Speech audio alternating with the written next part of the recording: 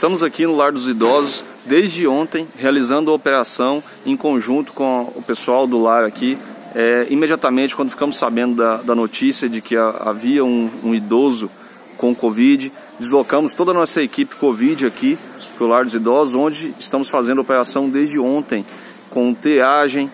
com medir pressão, medir temperatura, medir saturação de todos os funcionários e também de todos os moradores, todos os idosos aqui